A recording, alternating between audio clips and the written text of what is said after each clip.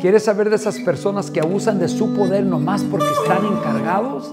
Descubre este video, a lo mejor tú eres una de ellas, tu vida puede cambiar, míralo. Hola, ¿qué tal? Bienvenido a mi canal de YouTube. Yo soy Frank Íñiguez, el embajador de la lectura. Y les agradezco a todos por estar aquí. El tema de hoy es personas que abusan de su poder. ¿Cómo la ves? Quizás a algunos de ustedes no les va a gustar y aunque no les guste, espero que lo compartan para que les dejen saber a algunos de sus compañeros que quizás esta manera de ver las cosas les pueda beneficiar en el futuro. Imagínate personas que abusan de su poder. No sé tú, pero en el camino de mi vida, uh, especialmente cuando uno empieza el camino laboral de, de nuestras vidas, hay muchas situaciones donde nos vamos a encontrar con personas que tienen un poder y no es ni, no es ni grande manejadores de la compañía o manejadores de un departamento y se creen que son todo eso y lo vas a hacer como yo te digo, o si no, bla, bla, bla, y abusan de su poder, en vez de que ya tienen ese poder y poder reaccionar y realizar que todos vamos a ir cambiando de posición. Todos vamos a ir llegando a esta posición, a esta posición, y puede que en algún momento de tu vida te topes con aquella persona que no trataste muy bien y ahora ellos estén en la posición de mandar y tú te acuerdes, ching, yo no los traté muy bien, ¿cómo me van a tratar a mí?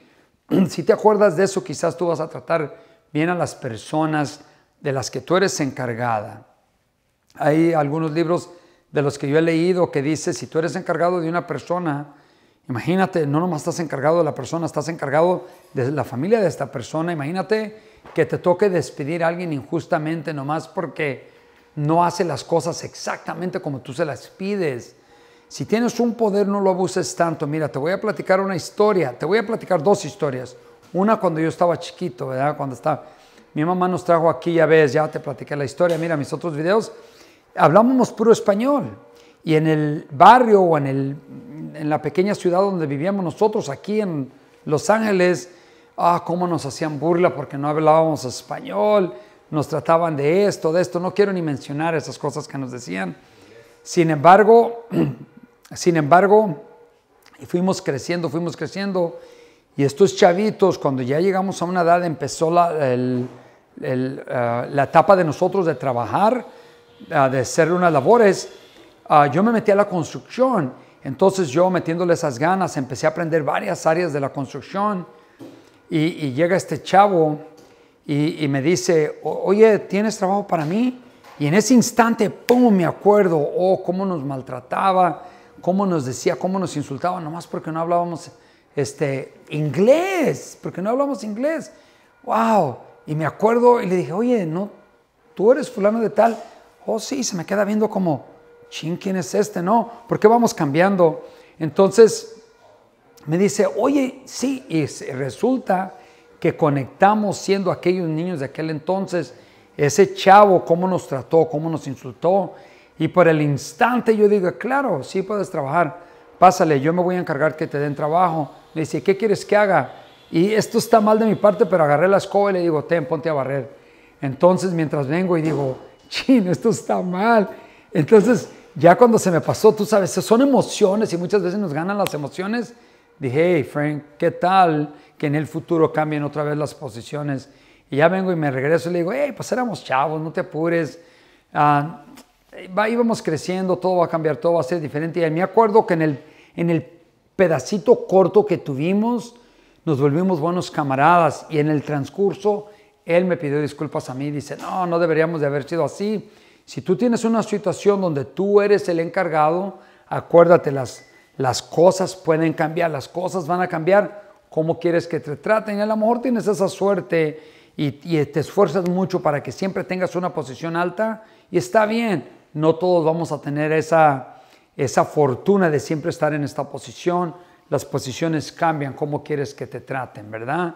Muy bien, la otra historia que te quiero platicar también, ya cuando íbamos trabajando, ah, yo tuve un compañero que me trató bien, la verdad es que me trató muy bien yo andaba buscando trabajo, él trabajaba en la oficina, yo trabajé afuera de la oficina y lavábamos, nos tocaba lavar ropa. Y él en la oficina con su corbata o su camisa bien a toda, ¿verdad? Y siempre me dice, hey Frank, ¿cómo estás? Y siempre me trató bien. No voy a decir su nombre, no le pedí permiso, ya sé que ya lo he repetido dos o tres videos donde no quiero mencionar el nombre. Este chavo me trató bien. Pasan los años, crecemos, nos separamos. Yo continúo porque yo creo que tú vas en buen camino, ¿eh? Le estás metiendo buena información a tu cabeza, métele libros, métele cursos, métele videos así a tu cabeza. Vas a crecer que tus amigos no te van a conocer en el futuro. Eh, anyway, sin embargo, siguieron nuestras vidas yo trabajé con él quizás menos de un año, me trató súper bien, nos volvimos amigos. Éramos amigos desde chavos de la Junior High School, crecimos. A él le fue muy bien, de vez en cuando nos comunicábamos, ¿cómo estás? No, bien tú, bien. Oh, pues que te siga yendo mejor. De vez en cuando nos juntábamos para un cafecito, platicábamos. Pasan los años. A mí me sigue empezando a ir muy bien por todo lo que hago mi entorno, con quién me junto, cómo pienso. Él se topa conmigo, él cree que va a encontrar a la misma persona que él le ayudó a lavar la ropa en aquel entonces. Me dice, Frank, ¿cómo te ha ido? Le platico, se queda con la boca abierta, dice, wow, en serio, me ha ido súper bien. Todavía tomamos café él y yo. Todavía hacemos historia él y yo. Si tú tienes una posición donde tú mandas, no abuses. A mí me ha tocado ir a escuelas donde los directores caminan como si fueran el rey del universo y quieren mandar a la gente uh, mirándola hacia abajo. O hay maestros que tratan a sus chavitos mirándolos hacia abajo en vez de enseñarlos, quererse, crecer. Y algún día en el futuro nos vamos a ver cómo se va a mirar. Los momentos son cortos. Trabajas con una persona es corto. Uh, haces alguna producción con alguien es corto las memorias. Las memorias se quedan usualmente cuando son buenas o pésimas, se quedan para toda la vida. ¿Qué memoria quieres tú marcar en esa persona?